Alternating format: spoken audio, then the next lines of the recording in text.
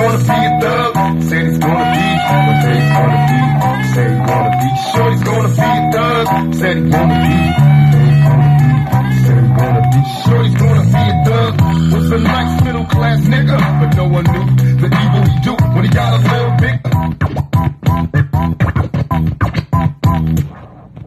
Love to find a blaze while puffin' on a new rockin' on another race.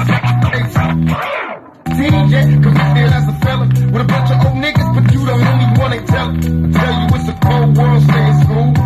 tell me it's a man's world, play the rules and play rules.